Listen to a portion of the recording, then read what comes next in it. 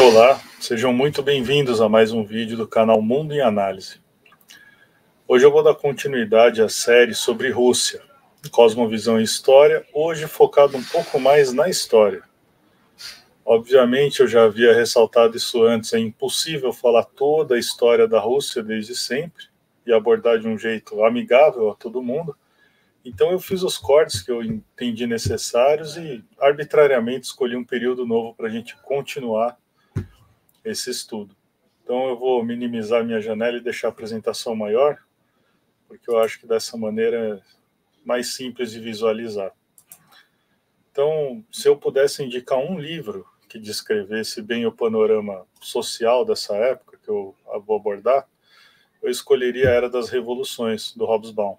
É um livro conhecido até do público. Hobsbawm é bastante lido, bastante abordado, bastante famoso pela historiografia. É muito competente, sem dúvida, e apesar de uma abordagem mais marxista, a qual o pessoal costuma torcer o nariz, ele faz uma descrição bastante importante das sociedades e das percepções da época. Por que, que é importante tratarmos do século XIX? porque no século XIX a ordem conhecida até então, ou seja, aquelas grandes monarquias, aqueles grandes impérios, aquela classe real com um povo servil, começou a ser substituída.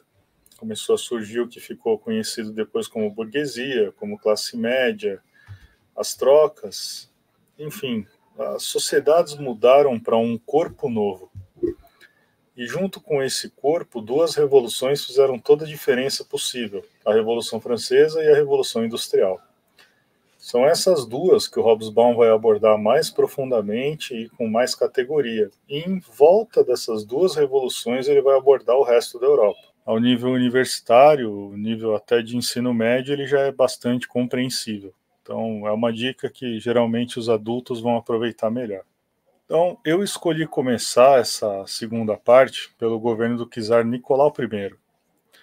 Nicolau I ele é conhecido como guarda-costas da Europa pela postura extremamente dura com que ele lidava com os assuntos no exterior.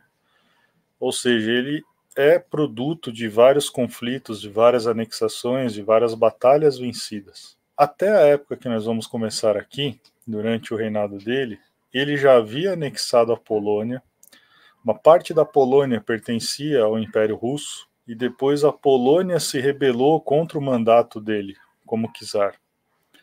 E o resultado dessa rebelião foi que ele tomou o resto da Polônia. Então ele já havia anexado a Polônia totalmente. Ele havia vencido uma guerra contra a Suécia, que era um império bastante poderoso. Em 1809 conseguiu anexar a Finlândia. E devido a objeções políticas, então ele acusou a Igreja Católica de fazer uso político para que outras ideias se instalassem no território, ele também aboliu a Igreja Católica na Bielorrússia e na Ucrânia. Então, vamos chamar isso de questões nacionalistas.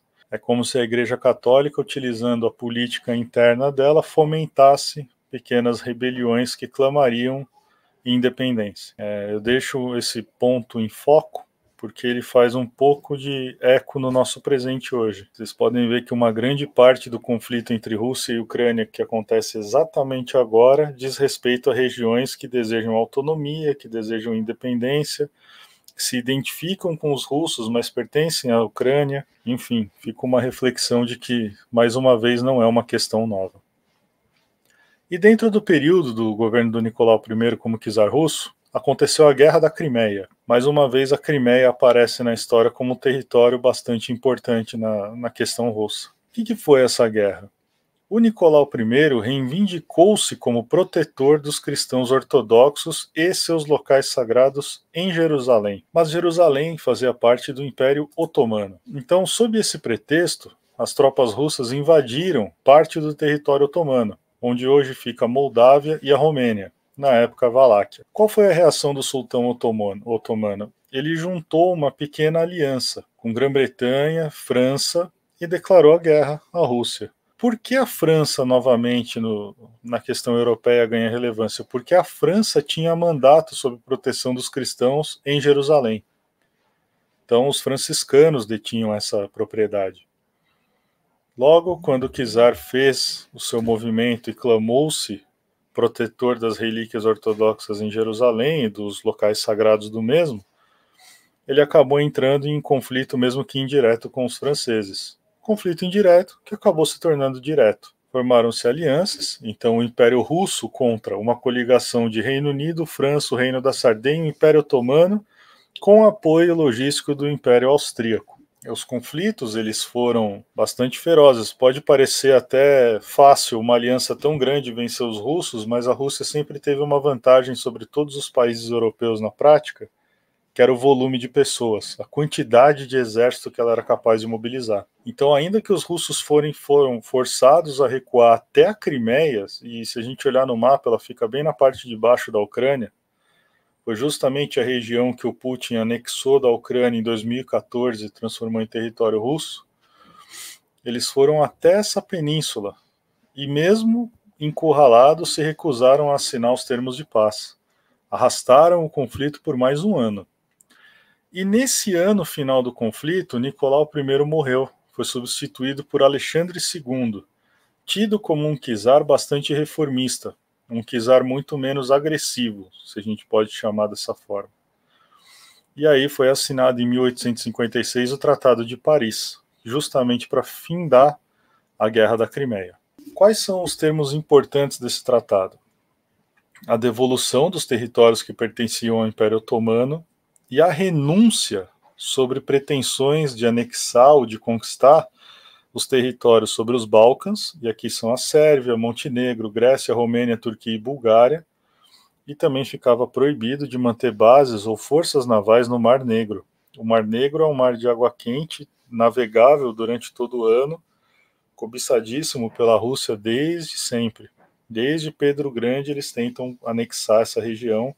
Por outro lado, o Império Otomano acabou admitido na comunidade das potências europeias, o que isso significa? Significa que ele estava mais próximo de uma aliança mais duradoura com os países europeus e com um pouco mais de calmaria nas suas fronteiras, com o compromisso do sultão de tratar os súditos cristãos de acordo com as leis europeias. Então, onde houvesse divergência entre a lei otomana e a lei europeia, os cristãos seriam tratados pela lei europeia. A Rússia passou por um, uma transição muito séria nos séculos XIX até o século XX, porque no século XIX, apesar de ser uma potência reconhecida por toda a Europa, ela era semi-feudal. Sua organização interna era essencialmente agrícola e cheia de, vamos chamar de pequenos senhores feudais que tinham servos. Eram cidadãos russos, mas eram servos, eram de outra classe, de outra casta. E o Alexandre II ele fez algumas reformas modernizadoras, liberais bastante importantes sendo a principal dela chamada Emancipação dos Servos, de 1861, que foi o fim da dependência servil a que era submetido o campesinato russo. Ou seja, o camponês russo ele era um servo, ele era de uma casta cuja única função era servir a senhores. Só que essa emancipação criou 23 milhões de pessoas que não tinham um progresso social possível. Eles não progrediam socialmente como servos, por óbvio, mas uma vez abolido o problema, não foi dada uma solução para essa transição social. Então, 23 milhões de pessoas não conseguiam progredir como sociedade e acabaram num limbo social. Isso gerou uma panela de pressão muito séria dentro da Rússia e resultou no assassinato do Alexandre II por um integrante de uma milícia anarco-comunista.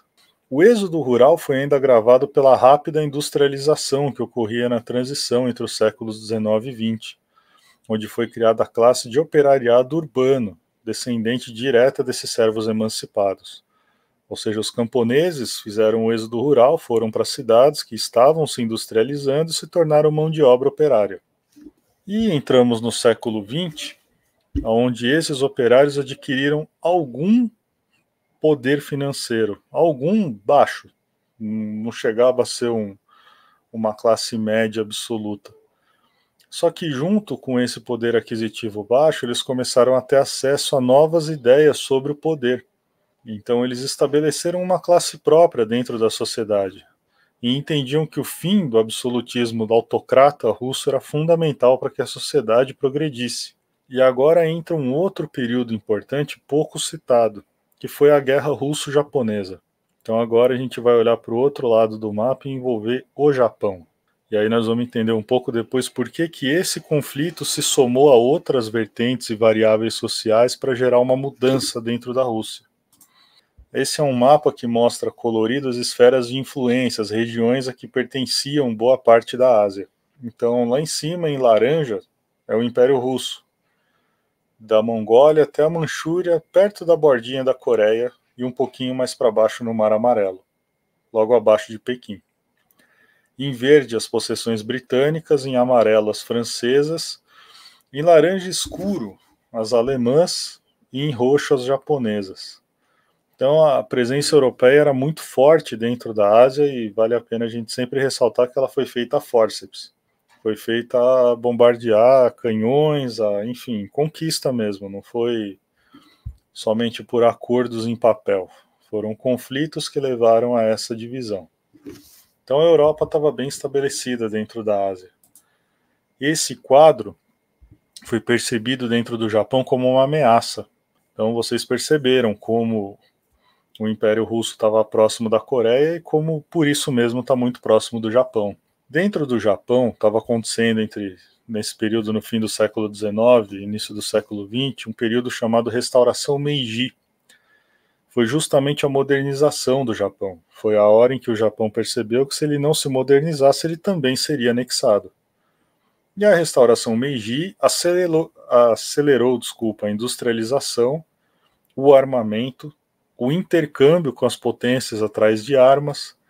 Enfim, foi uma abertura para um fechamento melhor se a gente puder colocar dessa maneira.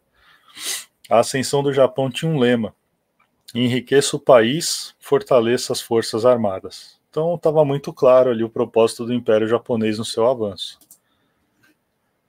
Como o Japão estava vendo os russos chegando cada vez mais para o Oriente, ele entendeu que somente uma guerra seria capaz de assegurar o território da Coreia e conquistar um pouco mais de possessões dentro da China. Então, em 1904, a Marinha Imperial Japonesa lançou um ataque surpresa à frota russa ancorada em Port Arthur. O ataque ele foi feito sem uma declaração formal de guerra. Foi justificado pelos japoneses, tendo em vista que a Rússia havia invadido a Finlândia em 1809. A gente abordou lá atrás que a Finlândia tinha sido anexada após uma guerra com a Suécia, que foi iniciada através de uma invasão unilateral russa, mesmo ato que o Japão fez agora se baseando, vamos dizer, utilizando uma desculpa, né? Um precedente que os próprios russos haviam dado. Então, lá em cima está circulado em azul o Japão, a Coreia e a bordinha onde a Rússia já estava no final da Manchúria. Ela já estava na entrada da Coreia. E dentro dessa borda azul tem um ponto amarelo em cima ali do Mar Amarelo. Ali é Port Arthur. Então, a divisão imperial fica mais clara nesse mapa, onde o Império Russo em roxo já estava na borda do Império da Coreia. E, obviamente, o Japão temia, porque se vocês olharem para cima do Japão, são ilhas que pertenciam à Rússia. Então, de alguma forma, o Japão podia ser cercado com bastante facilidade. Com a destruição das frotas do Pacífico e do Báltico, e com o exército imperial russo em retirada na Manchúria, ou seja, ali na China, o governo encontrou dificuldades para enviar reforços. E como a Rússia tinha que lidar com um império muito grande, não só em território, como em problemas em diversas fronteiras, administrando vários interesses, várias questões internas, a divisão de poder, tendo que administrar as incansáveis revoltas e rebeliões que aconteciam, isso foi desgastando o governo e, obviamente, impactando a economia. Então, quando a economia começa a se arruinar, a tendência é que a guerra se torne impopular. Novamente, eu, eu faço questão de citar isso porque é um precedente para o que estamos vivendo agora. A tentativa do, dos países do Ocidente em implantar sanções econômicas aos russos não é judiar do povo, não é ameaçar o Putin de fora para dentro, é criar esse mesmo cenário de insatisfação, para que a população exija mudança no poder. Então, quando a guerra russo-japonesa já tinha se estendido o suficiente, a economia estava arruinada e a sociedade entrando em colapso, o czar aceitou a rendição pelo Tratado de Portsmouth e reconheceu a soberania japonesa sobre a Coreia. Teve que abandonar os territórios chineses onde estava. E uma parte das ilhas ao norte do Japão, aquelas que estavam em roxo, foram já posse, metade delas foram para posse japonesa. Agora nós vamos entrar num outro fator importante, porque o czar aceitou a rendição depois do Domingo Sangrento. E aí temos que entender o que foi o Domingo Sangrento. Agora voltamos para dentro da Rússia. Num domingo de janeiro de 1905, foi organizada uma manifestação pacífica e em marcha lenta de um milhão e meio de pessoas, liderada por um padre ortodoxo com destino ao Palácio de Inverno do czar Nicolau II em São Petersburgo, objetivando a entrega de uma petição assinada por cerca de 135 mil trabalhadores reivindicando direitos ao povo como a reforma agrária, a tolerância religiosa, o fim da censura e a presença de representantes do povo no governo, além de, obviamente, melhores condições de vida. A reação do Nicolau II foi uma ordem para a guarda pessoal dele de que ninguém poderia entrar no palácio nem se aproximar o suficiente para se tornar uma ameaça. Então, conforme os manifestantes foram se aproximando em marcha lenta, e a gente está falando de uma massa enorme de pessoas, a reação dos soldados foi extrema, eles começaram a atirar. Quando eles começaram a atirar contra os manifestantes, deu-se a confusão, uma quantidade incontável de mortos, né, que foram arrebatados pelas balas ou pela própria multidão se movendo em, em desordem.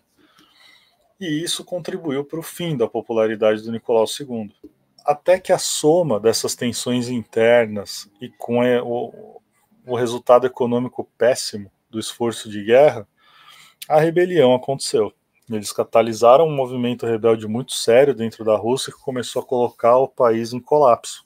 E aí, para tentar remediar essa situação, o Kizar lançou o Manifesto de Outubro, onde foi permitida a criação de um parlamento chamado Duma, e a existência de outros partidos políticos, destacando-se o Menshevik, que era uma minoria, era mais moderado, defendia uma reforma gradual, a inclusão da burguesia nas decisões do Estado, enfim, algo muito mais parecido com o que era a Europa Ocidental, e o Partido Bolchevique, que tinha a maioria de integrantes, mas era radical e defendia uma ação revolucionária de ruptura com o sistema vigente, ou seja, com o czar.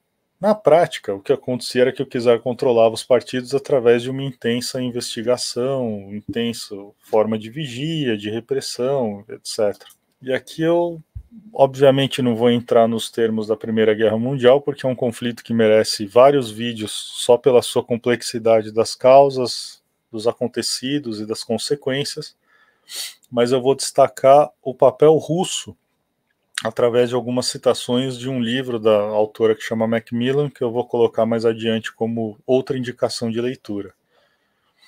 Ela diz que em 1914, a aliada Rússia provavelmente salvara a França ao atacar a Alemanha no fronte oriental. Por três anos lutou contra as potências centrais, infligindo pesadas perdas, porém sofrendo ainda maiores. Em 1917, finalmente desmoronou com as tensões, passando em oito meses de autocracia para democracia liberal, depois para ditadura revolucionária sob uma pequena facção extremista de socialistas russos, os bolcheviques. Em 1917, a Primeira Guerra Mundial ainda não havia terminado, quando os bolcheviques assumiram o poder na Rússia com o assassinato da família do Nicolau II. Durante esse período, o Lenin assume a diretriz do, da Rússia e dá uma só ordem: que a Rússia saísse de uma vez do conflito da Primeira Guerra Mundial e fizesse o que fosse necessário. Com essa decisão, as potências ocidentais que estavam lutando, os aliados, se recusaram a aceitar a saída da Rússia do conflito. E o Lenin autorizou que acordos bilaterais fossem feitos. E a Rússia fez um desses acordos com a Alemanha, a qual ela havia guerreado tanto. É um acordo chamado Brest-Litovsk que cedeu alguns territórios e recursos aos alemães, recursos preciosos para que eles continuassem na guerra ainda com alguma coisa, até que o Lenin entendia que os russos deviam olhar para os seus próprios problemas, resolver as questões internas e não ficar lutando uma guerra que ele entendia que não era russa, era um problema europeu. Então a concepção de mundo do Lenin o fazia acreditar que a Revolução Bolchevique tinha ideais tão abrangentes que ela se espalharia. e que essa guerra era uma distração desnecessária para o movimento revolucionário. Um ano depois, quando os alemães foram derrotados pelos aliados, eles tiveram que denunciar o armistício e a paz em Paris redefiniu os termos dos acordos todos feitos. Com a derrota do Império Alemão, então, tudo isso perdeu efeito e as conferências em Paris é que iam definir os destinos das fronteiras e dos países europeus. Esse é o livro, chama Paz em Paris, de Margaret Macmillan.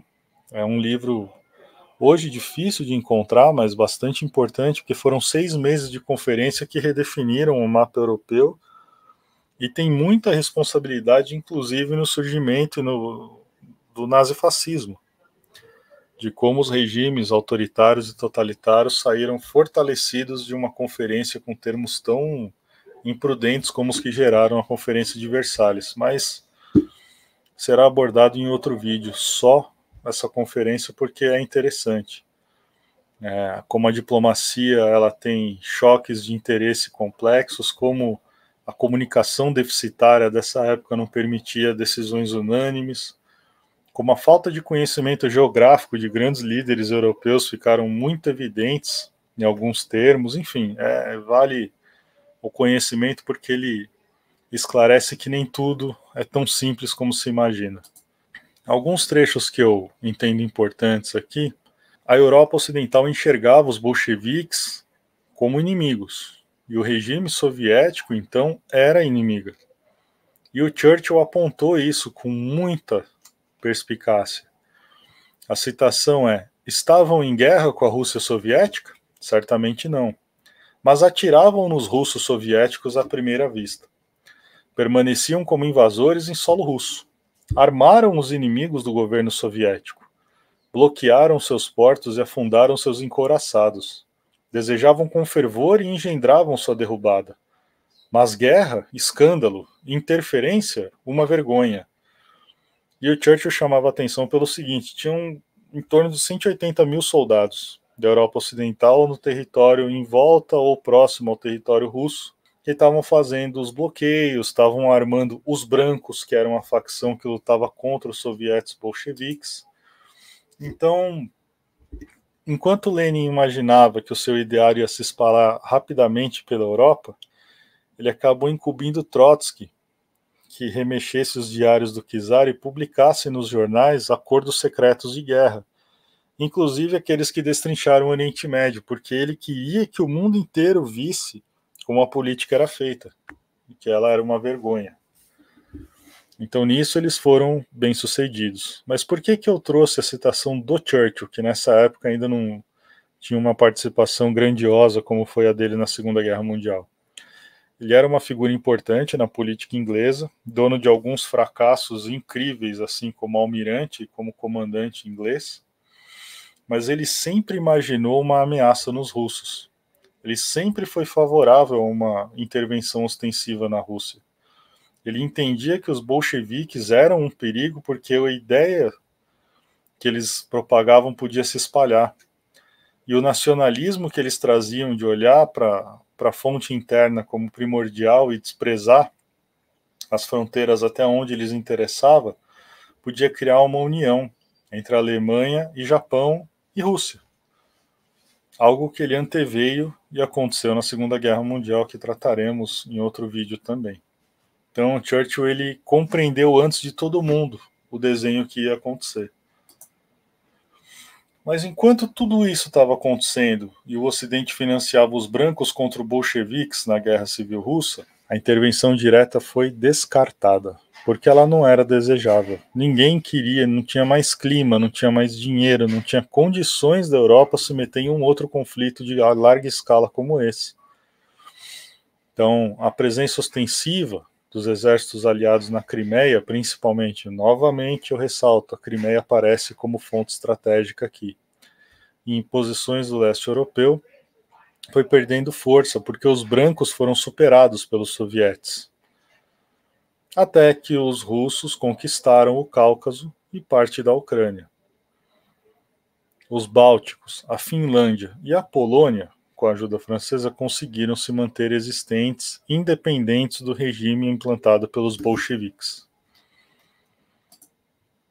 Aqui eu deixo alguns mapas para que fique muito clara a confusão que é essa região. Vocês veem que as fronteiras são redefinidas toda hora. Aqui elas variavam entre 1917 e 1921 em níveis incríveis. Então vocês veem que o Azerbaijão e seus vizinhos foram redesenhados várias vezes, a Geórgia foi redesenhada várias vezes, o Daguestão. Então é uma região que passou por muitas mudanças, mas que não impediu a anexação pela União Soviética.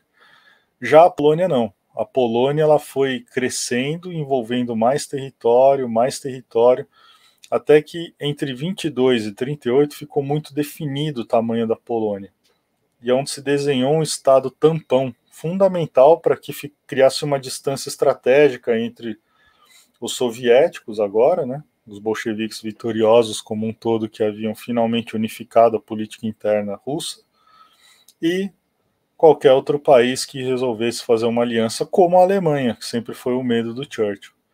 Então, o mapa embaixo, que fica aqui no meio de 1922 a 1938, ele deixa muito clara essa divisão onde tem a União Soviética, a Polônia no meio e os territórios alemães divididos aqui. As fronteiras soviéticas continuavam enormes, mas muito mais uníssonas, com a inclusão do regime soviético bolchevique. Então, sei que não é um tema simples, sei que não é uma apresentação fácil de absorver, sei que tem muito conteúdo que podia ser melhor trabalhado e no futuro serão. Se tiverem alguma sugestão, algum tema que queiram melhor desenvolvidos, podem mandar. Eu vou deixar aqui os comentários abertos e também o e-mail à disposição. E eu espero que estejam gostando, porque vai dar para desenrolar muitas partes a partir de agora. Obrigado e curtam e compartilhem.